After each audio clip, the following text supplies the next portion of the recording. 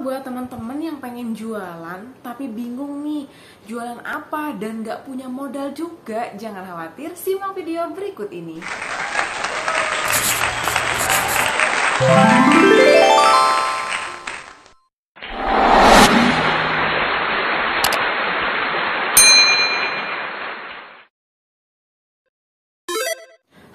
Assalamualaikum warahmatullahi wabarakatuh. Hai semuanya, kembali lagi di channel youtube Idapar Nah tadi aku udah kayak semacam kasih info nih buat teman-teman yang pengen jualan Tapi bingung gitu, pertama nggak punya modal. Terus yang kedua, bingung nih barangnya ngambil dari mana sih gitu ya.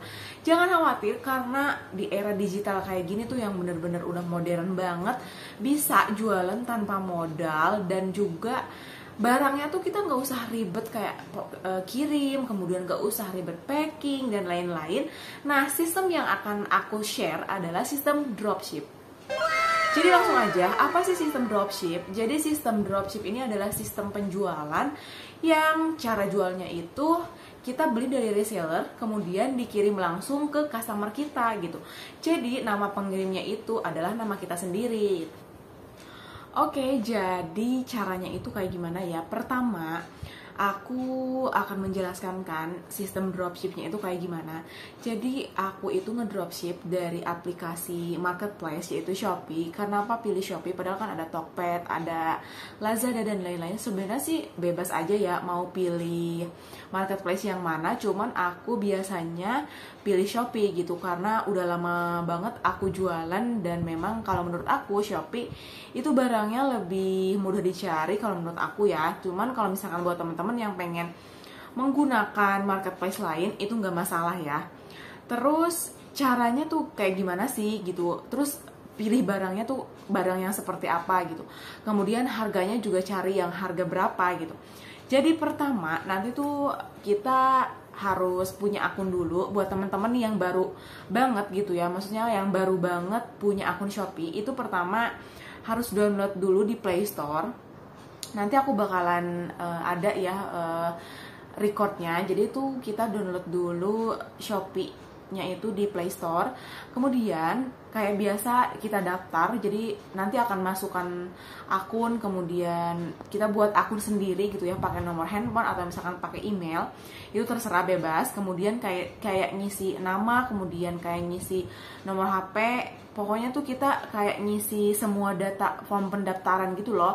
Kayak dokumen-dokumen eh sorry, kayak aplikasi-aplikasi biasa kita ngisi uh, form pendaftaran di akun Shopee. Kemudian setelah itu uh, setelah ngisi nama, kemudian alamat dan nomor HP yang aktif, lanjut ke apa namanya kayak beranda gitu loh. Misalkan kalau kita udah terdaftar, itu akan masuk ke akun Shopee-nya. Sorry ya, aku sambil megang handphone karena nanti kan aku bakalan ngejelasin e, barangnya cari yang kayak gimana, kemudian tokonya cari yang seperti apa gitu kayak gitu kemudian kalau misalkan udah akun Shopee udah punya akun Shopee langsung dibuka.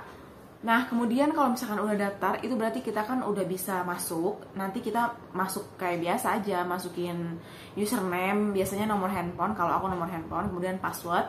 Nah kemudian udah masuk di bawah nanti tuh ada kayak semacam pilihan barang terserah ya kalau misalkan kita tuh minatnya mau jualan apa gitu. Nanti di sini ada ada apa namanya kayak ada fiturnya gitu loh. Ada jualan aksesoris kemudian baju anak kebutuhan bayi dan ibu gitu ya maksudnya. Kemudian ada pakaian pria sepatu pria kemudian tas pria. Terus fashion muslim kemudian juga ada otomotif ada souvenir kemudian ada buku dan alat tulis dan lain-lain. Banyak banget ya uh, apa namanya jenis dan kategorinya. Kalian bisa pilih mau jualan apa. Nah, kalau misalkan kita udah lihat-lihat nih uh, tentang kategori dari Shopee-nya, kalau misalnya kita udah menentukan apa yang bakalan dijual, kita langsung aja gitu. Nih, aku kasih contoh, misal misal kita mau jualan daster ya daster itu kan harganya murah kemudian banyak dipakai juga oleh ibu-ibu ya. Nggak ibu-ibu doang remaja juga ada. Cuman dasarnya mungkin motifnya yang agak berbeda yang agak lucu atau misalkan yang agak unik dan lain-lain. Pokoknya itu terserah. Nah kita akan ketik daster di kolomnya itu. Kemudian search kemudian akan ada tampil macam-macam daster ya. Jadi tuh e, akan muncul macam-macam daster di sana. Dari mulai harga rendah dan kemudian harga tertinggi. Dan di atasnya itu ada terkait kemudian terbaru kemudian terlaris kemudian harga. Nah pertama aku mau ngejelasin dulu nih. Kalau misalkan setelah muncul banyak dasar kayak gini pasti kan kita bingung cari yang mana ya barangnya gitu kan. Biasanya aku itu klik uh, kolom yang terlaris. Karena kenapa? Maksud terlaris di sini berarti dari toko tersebut dasar tersebut banyak diminati oleh orang-orang gitu. Banyak dibeli oleh oleh orang-orang juga gitu. Nah kalau misalkan aku udah udah ngelihat nih oh dasar ini banyak laris nih banyak yang beli. Boleh juga sih dipertimbangkan. Cuman selain itu kita bisa lihat dari harga juga nih. Di kolom yang paling ujung itu ada harga kita bisa klik di sana ada panah ke atas kemudian ada panah ke bawah. Nah untuk panah ke atas itu adalah item dari harga yang rendah gitu. Jadi kalau misalkan panahnya ke atas tuh kita nyari item-item ya, dari harga yang paling rendah itu kemudian ke harga yang paling tinggi. Kalau misalkan si panahnya kita klik lagi, maksudnya harganya kita klik lagi, panahnya turun ke bawah, itu adalah item-item yang muncul dengan harga yang paling tinggi gitu. Nah, kalian bisa untuk cek harganya itu bisa di sini ya. Kalau misalnya kalian mau lihat nih dasar dari harga yang paling rendah apa aja sih gitu kayak gitu. Terus dasar dari harga yang paling tinggi apa aja itu kalian bisa cek juga. Tapi kalau misalkan aku biasanya aku nyari dari daster terlaris gitu misalnya dari item-item item-item yang aku pilih itu harus yang terlaris dulu gitu. Biasanya aku seperti itu. Kemudian, kemudian kalau misalnya kita udah tahu oh itemnya banyak nih yang terlaris gitu. Kita akan klik misalkan nih daster Arab e, banyak banget kan daster-daster di sini. Dari aku biasanya pilih dari harga yang murah. Kemudian klik. Nah kita lihat di sini ada penilaian kan penilaian atau misalkan bintang.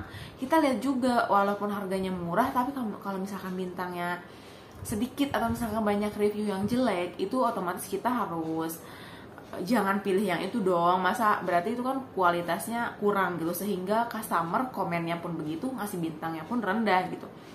Pastikan dulu bintangnya itu tinggi atau misalkan ratingnya bagus gitu ya. Misalnya nilainya 4,8 bagus-bagus 4,9 gitu kan Nah, baru kalau misalkan udah nih udah tahu oh ini kisarannya harga segini, kemudian ratingnya juga bagus, bintangnya juga bagus, baru biasanya aku screenshot dan aku posting kayak gitu. Nah, kalau misalkan nih dari harga terendah itu ada beberapa toko, itu terserah ya, kita mau cari toko yang mana gitu. Tapi kalau menurut aku karena dari di sistem Shopee ini biasanya kan ada gratis ongkir gitu. Kalau misalkan kita beda toko, berarti ongkirnya bisa double. Kalau misalkan pembelian customer itu lebih dari satu item. Misalnya nih, dari item yang udah kita search dari daster semua daster, misalnya kita posting dari beberapa toko. E, daster A dari toko A, misalkan daster B dari toko B. Daster, jadi kita itu posting daster dari berbagai toko Nah, ketika ada pembeli, misalkan dia beli dasar ABC, itu kan berarti udah tiga toko. Nah, itu berarti ongkirnya tuh double kan, tiga. Karena tiga toko tuh masing-masing kan satu ongkir. Jadi kita bakal mengalami semacam kerugian gitu loh. Kalau misalkan customer kita tahunya kan satu kali ongkir, satu kali apa namanya satu kali pesanan ya jadi satu kali ongkir itu satu kali pesanan tapi ketika kita menggunakan sistem dropship di Shopee ketika kita ada yang order tiga toko berarti kita bayarnya tiga kali ongkir gitu. Jadi kalau menurut aku ketika kita udah oh ini nih misalkan toko A. Toko A itu bintangnya udah oke okay, kemudian harganya juga udah masuk. Terus penilaiannya juga udah bagus. Nah, kita usahakan pilih gambar-gambar atau barang-barang yang akan kita jual dari satu toko dulu gitu. Jadi ketika kalau misalkan ada orang yang order, customer kita yang order gitu, dengan menggunakan uh, apa namanya item dari satu toko misalkan dia order tiga kita cuman mengeluarkan satu kali ongkir aja gitu. Itu untuk dropship pemula ya maksudnya untuk dropship dropship yang awal banget gitu yang baru-baru mau buka kita bikin sistemnya yang kayak gitu dulu gitu supaya eh, nggak uh, nggak apa ya maksudnya nggak keluar ongkos lagi gitu untuk pengiriman uh, ke customer kalau misalkan beda toko gitu ordernya kayak gitu. Kemudian yang kedua nih ketika kita udah tahu produk yang mana yang bakalan kita jual berarti Eh, kita juga udah tahu dong reseller yang mana yang bakalan kita pilih. Yang tadi aku sebutin caranya nilainya nilai dari rating atau nilai dari customer harus bagus di aplikasinya. Misalnya 4,8, 4,9 bintangnya bagus, itu kita bisa pilih jadi reseller, jadi star seller ya. Nah, kalau misalkan kita udah pilih, nah jangan lupa nih, karena kita menggunakan sistem dropship, ketika kita mau order itu harus mengaktifkan uh, nama pengirim. Jadi tuh di Shopee itu ada masukkan alamat ketika kita akan melakukan order dan di ujung aplikasi di ujung nah di ujungnya itu kita harus mengaktifkan nama pengirimnya yaitu kita. Jadi kita itu sebagai eh, nama pengirim untuk customer gitu loh. Kan customer order ke kita. Jadi kita jangan lupa ya harus mengaktifkan nama pengirim di fitur Shopee yang bakalan kita kirimkan ke customer. Itu jangan lupa. Nanti kalau misalkan kita lupa nih nggak mengaktifkan nama pengirim misalkan uh, tokonya itu toko yang kita order gitu ya. Berarti kan nanti tanda tanya dong maksudnya Uh, takutnya customer kita nanya ini pengirimannya dari mana? Kok bukan nama kamu sih? Atau kok bukan nama tokomu sih? Gitu. Kita kan istilahnya sebagai penjual gitu dia beli dari kita. Jadi usahakan jangan lupa mengaktifkan nama pengirim sebelum kirim barang ke customer. Dan kemudian yang ketiga setelah kita melakukan order setelah kita oke untuk melakukan pengiriman, jangan lupa pantau juga ya. Maksudnya itu pantau. Kita kan kalau misalnya udah order takutnya barangnya itu belum dikirimkan oleh supplier gitu ya. Belum dikirimkan oleh toko yang kita order itu. Jadi kita harus standby, maksudnya harus kayak ngechat gimana sih udah dikirim belum gitu dengan uh, alamat pengiriman ini gitu. Takutnya kenapa? Takutnya customer kita itu dia nanya-nanya misalkan uh, berapa hari sih pengiriman ke alamat ini? Kita misalkan kayak umum aja gitu jawabnya 3 sampai 4 hari kerja gitu kan. Nah, kita tuh harus uh, follow up ke toko yang kita order, kita follow up udah dikirim belum? Atau misalkan kalau misalkan dalam dua hari atau tiga hari dia belum kirim barang, kita harus follow up juga kenapa nih ada kendala apa gitu? Jangan sampai kita diamin aja aplikasinya jadi kita nggak tahu apakah toko tersebut udah kirim barang atau belum. Dan kita harus lihat juga apakah udah diterima barangnya atau belum itu udah ada di sini. Karena apa namanya udah tercatat aja gitu sesuai. Kalau misalkan resi udah dikirim itu akan otomatis bergerak gitu. Misalnya dari kota ini ke kota ini kemudian di, udah diterima dengan siapa gitu. Jadi keterangannya kayak gitu. Oke semuanya. Jadi ini adalah video yang aku share hari ini. Semoga video dari aku bisa bermanfaat ya buat kalian semua.